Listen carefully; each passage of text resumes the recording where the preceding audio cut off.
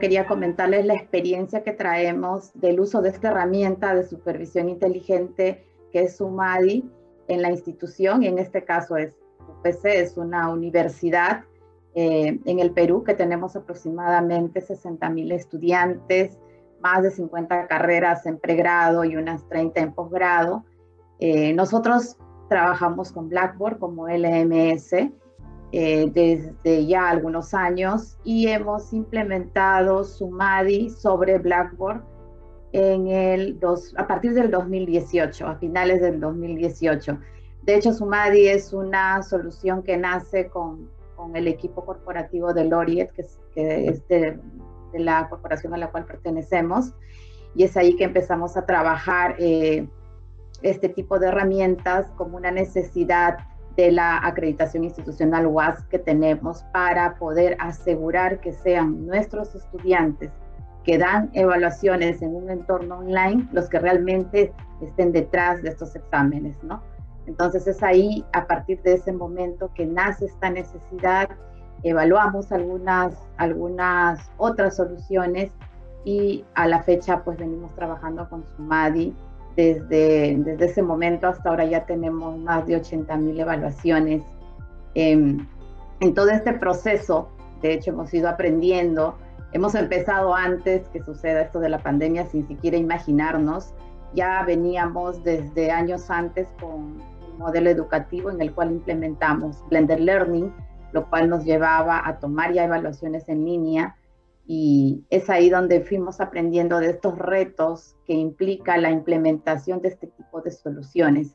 Si bien comentaban en el chat que estaba leyendo las, los comentarios, las preguntas, eh, de ninguna manera se pretende reemplazar un diseño pedagógico de un instrumento de medición, sino que lo que se pretende es eh, este proceso de supervisión y autenticación, que cuando entramos a un entorno en línea, perdemos algunos controles. Ya en presencial, los docentes y los supervisores sentían que, que suceden suplantaciones, que suceden copias, eh, imagínense en online, ¿no? Y es así que entramos a identificar, y acá menciono algunos de los retos que en todo este proceso de implementación que llevamos, eh, poder, puedo compartirles, ¿no? Como es el hecho de las brechas digitales, algo que ustedes comentaban también, sí, de hecho en Perú lo vivimos eso y es uno de los, de los retos más grandes que tenemos, eh, que de alguna manera no, no nos ha permitido estandarizar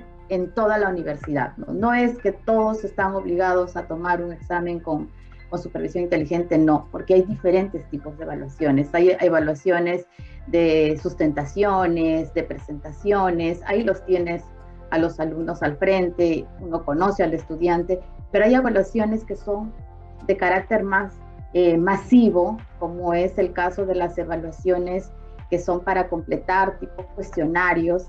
Es en ese tipo de evaluaciones donde se impacta y donde esta herramienta puede ayudar en ese proceso de supervisión, especialmente cuando son muchos estudiantes, cursos grandes y que se pretende tomar en simultáneo, ¿no? Es ahí eh, el tema de que no todos nuestros estudiantes cuenten con una cámara o con un, internet adecuado o una computadora adecuada, este, ha hecho mm, de alguna manera eh, hacer pilotos, hacer pruebas y tomar decisiones. En algunos casos, este, se ha optado incluso que no era posible aplicar su MADI dependiendo estas brechas tecnológicas que hay. Bueno, ahora después de un año de pandemia, ya la mayoría de estudiantes viene con estos equipos. Este, a, inicios del 2020 esto fue un poquito más complicado. Ahora ya la mayoría de estudiantes cuentan con estas herramientas y cada vez es más fácil este tipo de aplicación de tecnologías, ¿no? Eh, el hecho de, que algunos estudiantes, me acuerdo que a inicios del año pasado estaban incluso fuera del país, agarró la pandemia de sorpresa y pretendían pues o han llevado las clases desde celulares, desde dispositivos móviles, para lo cual aplicar este tipo de herramientas de supervisión no es válido, entonces no era posible. Eh, otro mito que también tuvimos que romper y trabajar mucho con los directores académicos es que al implementar este tipo de herramientas no se garantiza que no se copien, no va hacia la copia, va hacia mitigar las suplantaciones. La herramienta ayuda muchísimo en autenticar y poder controlar algunos comportamientos no deseados. Preguntaban por ahí el tema de los comportamientos. Algunos de los comportamientos no deseados es que pueda entrar una persona a espacio, que se retire del examen, que pierda el foco dependiendo del tipo de examen, porque hay exámenes que sí te permiten tomar apuntes, que no te vayas a, otras, a otros navegadores si es que tú decides que eso sea un comportamiento no deseado, porque hay exámenes que sí permiten que puedas justamente aprender en ese momento del examen, darte la oportunidad de investigar y eso contribuye al aprendizaje dependiendo el diseño pedagógico de la evaluación, ¿no?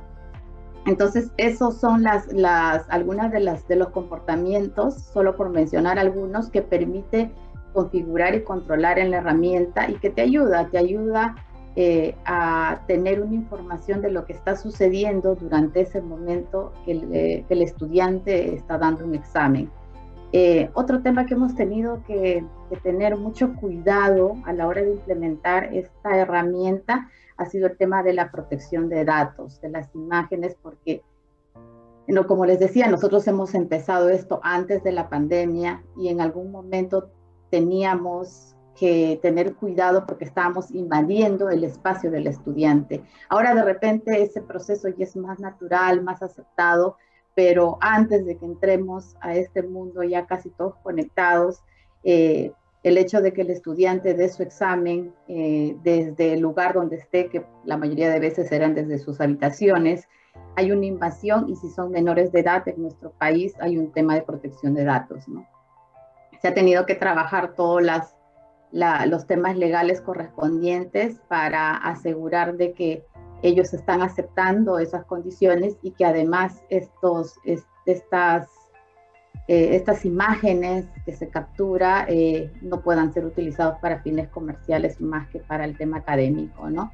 Por otro lado, eh, la herramienta lo que hace es genera un reporte de los comportamientos válidos o inválidos, los califica y los docentes o los responsables de las evaluaciones al final son los que deciden si invalidan o no el examen y es ahí que veía una pregunta que comentaban y entonces el rol del docente se pierde, no se pierde, porque el rol del docente, para empezar, es el que diseña la evaluación y finalmente es el que va a decidir si invalida o no el examen, porque la herramienta eh, va capturando patrones, comportamientos que luego te va a dar en un dashboard donde vas a tomar decisión probablemente te llamará la atención es el que sacó el mayor puntaje y el que tiene obviamente el comportamiento en rojo, ¿no?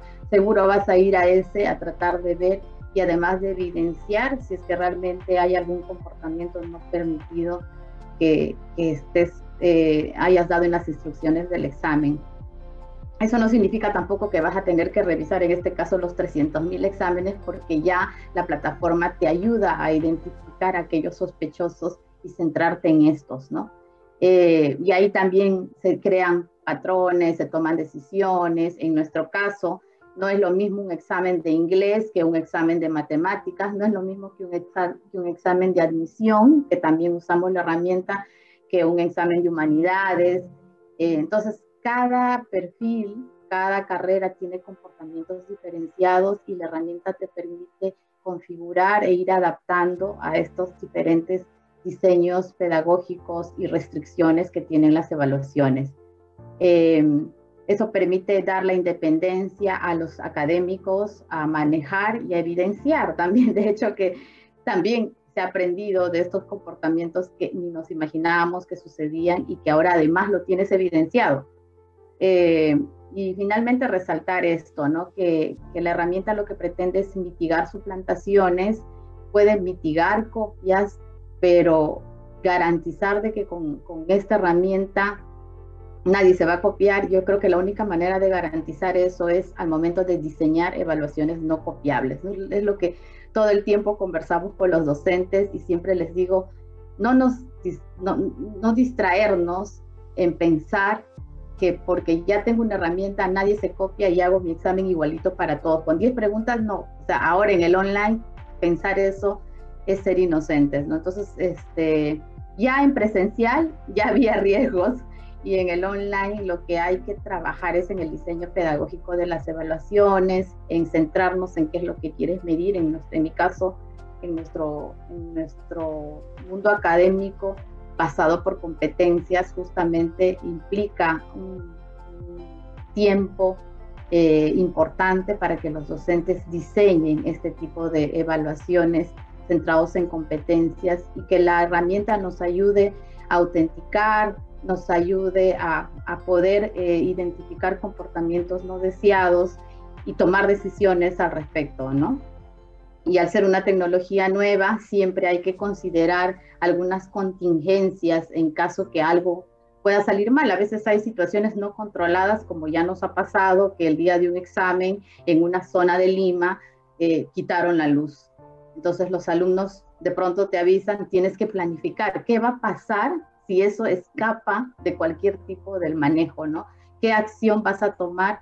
Suspender el examen y ahí tienes que pensar en una contingencia. En nuestro caso, nosotros todos los exámenes que se diseñan con, con este tipo de herramientas supervisadas siempre tienen un examen eh, de contingencia que va a estar listo si es que se detecta alguna incidencia no controlada, se le, se le envía al estudiante en un documento, un PDF y responde al docente eh, ese mismo, esa misma evaluación. No son contingencias que tienen que ser muy controladas, muy identificadas y planificadas eh, para no tener que suspender un examen por algo, por algún factor externo, ¿no? que muchas veces no se maneje.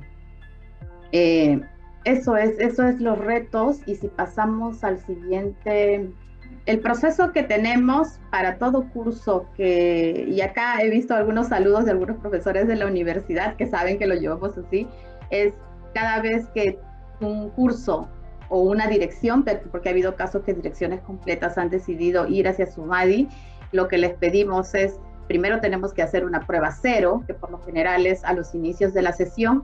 Es una prueba cero que le llamamos una excusa para medir la tecnología y para medir también las capacidades de, nuestros docentes y estudiantes. En esta prueba cero eh, capacitamos, tenemos ya videos, pastillas de capacitación y el docente toma su prueba cero. En esa respuesta de esta prueba cero es que vamos a identificar qué tan preparado está este grupo de estudiantes para dar un examen con supervisión.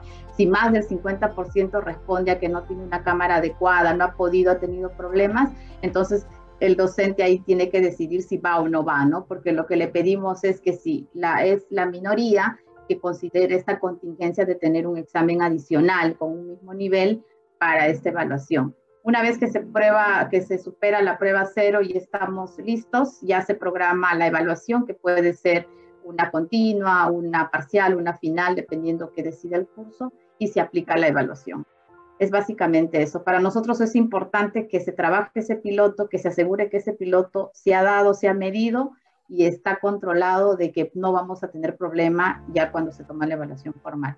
Básicamente eso el proceso. Una universidad eh, una de las líderes en Perú y estas suplantaciones se ha podido evidenciar incluso y se ha aplicado la regla, la, la reglamentación de disciplina que implica cuando hay suplantaciones como tal cual sucedía en presencial porque ha habido la evidencia, la herramienta te da la evidencia de esta, de esta suplantación y pasa a proceso disciplinario, ¿no? A la fecha tenemos 14 casos, esto lo que ha hecho es mitigar quizá si algún estudiante lo ha estado pensando, esto lo invita a pensarlo mejor y, este, y tenemos un área que además eh, está todo el tiempo, que es aseguramiento de calidad, buscando validar que las cosas que se haga pues esté dentro del marco legal y además no genere insatisfacción, sino muy al contrario, que el estudiante se sienta cómodo y no genere más nerviosismo que el que quisiéramos. Y para eso, si pasamos a la siguiente slide, eh, cuando se ha corrido en un par de oportunidades, eh, se ya se ha corrido un par de encuestas de satisfacción. Eh, y la primera vez, sobre todo, nos sorprendió estos resultados de cara a los estudiantes, que muy al contrario de sentirse invadidos, lo que han sentido es una sensación de seriedad, de, de justicia, de aprobar de que se esté, aplicando este tipo de herramientas porque ya no sé cómo es en los países, eh, eh, en Chile, en Colombia, en, Ecuador, pero en Perú en algún momento se hablaba pues de que había todo un negocio de te resuelvo el examen, ¿no? Que iba paralelo a este tema de la emergencia y, y, lo que ha generado es más bien una sensación de tranquilidad y de justicia respecto a ese tema y lo otro es que no han sentido mayor complicación en el, en el tema de utilizar la herramienta. es muy intuitivo, eh, no se han sentido invadidos el tener una camarita ahí. Muy al contrario, piensan que les está grabando todo y, se han preparado un poco más. Y, lo que ha generado es un tema positivo. Algunos comentarios negativos, pero muy pocos. Eh, pero en general ha sido positivo y eso nos ha llevado a seguir empujando más el uso de esta herramienta en, este entorno. Y estos comentarios es lo que lo comparto con, con los grupos que todavía se rehusan a entrar en el uso de estas tecnologías, porque yo creo que más allá de, de decir esto se debe usar e, es, probar, ¿no? Es vivir la experiencia, es intentar, es, es buscar cuáles son aquellas áreas que realmente les va a ayudar y cuáles son aquellas áreas que no lo necesitan, ¿no? Porque yo creo que eh, depende para qué lo quieras usar y qué quieras medir. Cuando es más masivo, por ejemplo, los de admisión, nosotros tomamos certificaciones de inglés, los de ciencias y humanidades que son masivos, sí lo están usando y la verdad que este, sí está funcionando y algunas otras carreras han decidido no y respetamos eso, ¿no? En eso estamos trabajando. Eso es lo que invitaría a los que están pensándolo, prueben, validen y ustedes mismos se van a dar cuenta que hay espacios para aplicar y quizá hay algunos que justificadamente no lo necesitan. Muchas, muchas gracias.